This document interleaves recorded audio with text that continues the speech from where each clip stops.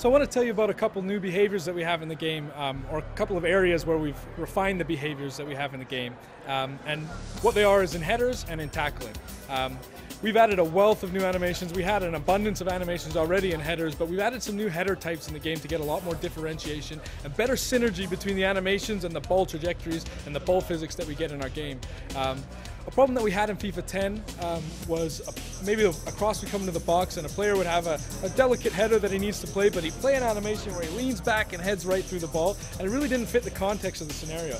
So what we've done this year is we've added a bunch of new animations in different buckets, and we've added glancing headers where he might just touch the ball to the side and redirect it to the corner, cushion headers where he takes some speed off the ball, plus we have the medium and high-powered headers that we had last year, and then one other type which is downward headers where he actually tries to get the ball down to the goal line and not put it over the bar. So there's a little bit of a game element to the downward headers as well as, as far as how you position your player. There's a game element to the, the power that you put on the glancing headers to try and get these different header types. And obviously they have their advantages, each of them. So it really opens up the heading game on corners and crosses um, when trying to finish a lot in our game.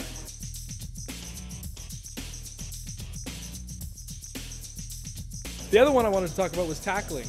Um, by and large, last year we had a standing tackle and a sliding tackle, and this year we've blown out all of our standing tackles into different types. We have something called an intercept tackle, which is somewhere between a tackle and a dribble, where if your opponent kicks the ball maybe a little bit too far, instead of sticking him and getting into the guy and, and causing him to stumble, you actually sort of run by, tackle the ball away, and run after it without actually touching him. It makes a little bit of a cleaner uh, um, dispossession uh, of your opponent, as well as gives you a little bit of an advantage for reading the play and getting in, getting in at the right time.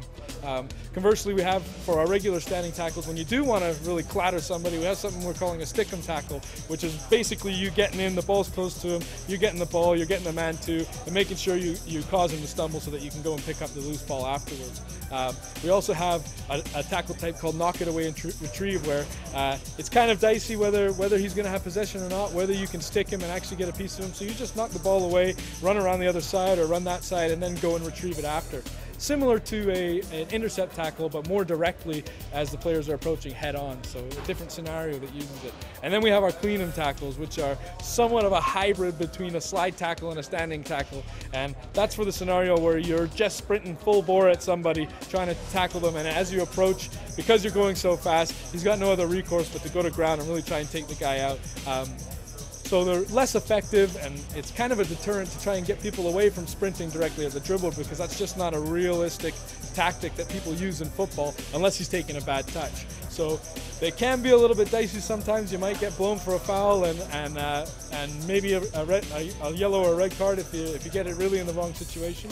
But uh, it, it forces you to manage your defending a little bit so that you're in control and always trying to position yourself to launch the best tackle you can. Makes an art out of defending, and I think it brings defending to life rather than mostly just holding the press button.